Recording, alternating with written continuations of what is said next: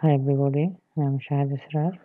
Today I will discuss data backup and system upgrade procedure. Here managing the data storage media, two media, SDRAM and flash. Main control board support above storage media, this SDRAM and flash. In SDRAM, store the execute host software program and flash store the host software program, and database file, language resource file and BIOS file. Managing the data diagram, active MCU card, standby MCU card, here DRAM flash, here DRAM to flash, number 1, save, SDRAM to flash, number 2 duplicating active active to standby. 3 backup. Backup to file server and load file server to flash. How to backup system data? This is our OLT suppose.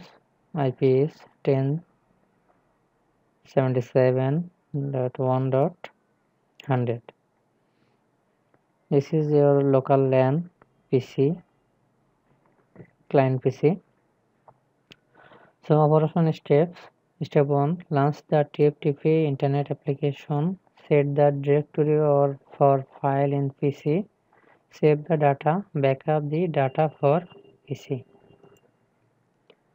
backup step launch the TFTP browse settings then backup step.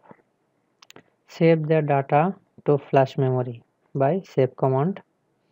Then backup the data to pc backup data tftp this is our tftp server ip my pc ip this is name. This is my pc ip system upgrade here's some procedure we see step 1 at first save data mcu card to flash this is active and standby both are saved to backup data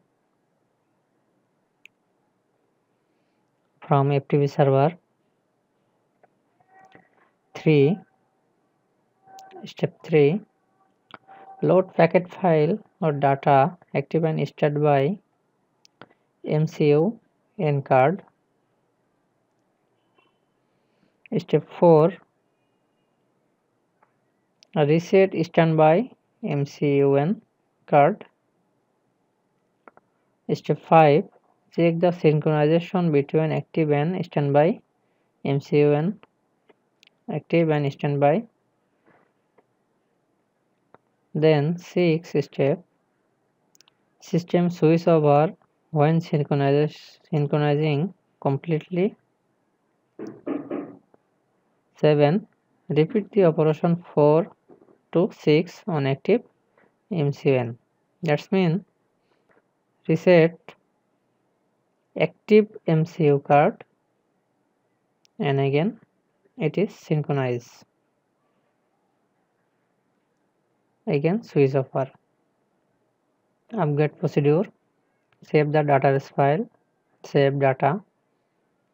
Backup data TFTP this is TFTP server IP uh, this is data file name Update the database file to new version via the update tools. Load the packet file to both MCUN card. So this procedure load packet file TFTP this is from TFTP server to OLT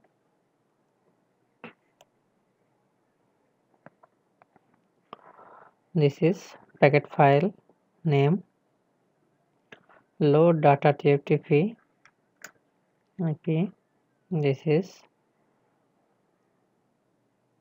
database file name and wall.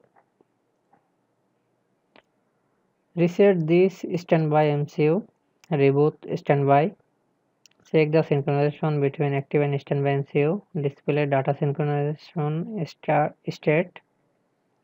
Switch over when synchronizing completely system switch over when this command report it goes active to standby. Board switch to active board to standby board.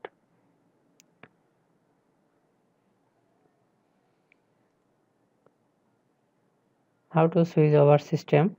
At first save data save your configuration then system switch over. Then yes. That perform the active to standby. So thank you